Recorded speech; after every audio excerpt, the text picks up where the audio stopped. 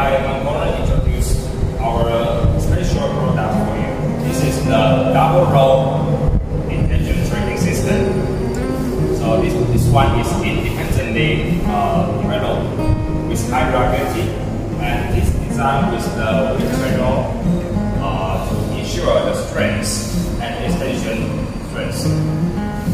So compared to the traditional single tracking system, uh, it, it fits with uh, double base driver and electrical controller. Uh, meanwhile, the failure is super low. If you have more questions, please follow us in our YouTube channel, uh, LinkedIn, and TikTok.